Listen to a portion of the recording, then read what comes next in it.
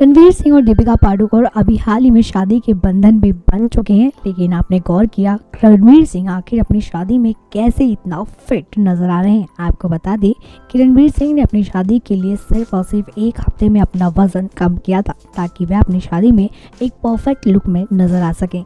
आइए आपको बताते हैं कि रणवीर सिंह ने कैसे एक हफ़्ते में अपना वेट कम किया। जी हाँ आपको बता दें कि रणवीर सिंह ने अपना वज़न कम करने के लिए कीटो डाइट को फॉलो किया था, क्योंकि इसमें कार्बोहाइड्रेट से युक्त फूड्स को ही शामिल किया जाता है, जिसके सेवन से आपको भरपूर एनर्जी तो मिलती ही है, लेकिन उसके साथ आपका वज़न भी तेज़ी से कम होता है। हालाँकि आपको इस बात से भी रूबरू करवा दे कि कीटो डाइट में फैट ही एनर्जी देने का काम करता है, जिससे आपका वज़न हमेशा कम होता चला जाता है। आइए आपको बताते हैं कि रणवीर सिंह ने कीटो डाइट में कौन कौन से फ़ूड शामिल किए थे, जिसके कारण उनका वज़न कम हो गया था। जी हाँ आपको बता दें कि इसके लिए उन्होंने नींबू, मिंट का जूस लिया था, जो आपके शरीर के विषैले पदार्थों को आसानी से बाहर निकालने में काफ़ी हद तक मददगार साबित होता है। इसके अलावा उन्होंने टमाटर, पालक स्मूदी को भी शामिल किया था।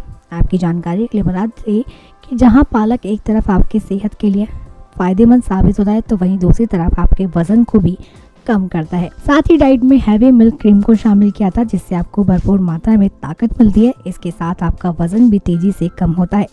इसके अलावा नारियल पानी को वज़न कम करने का एक बेहतरीन औषधि माना जाता है। शायद यही कारण है कि रणवीर सिंह ने अपना वज़न एक हफ़्ते में आसानी से कम कर लिया था। किरण डेस्क से रानी की रिपोर्ट।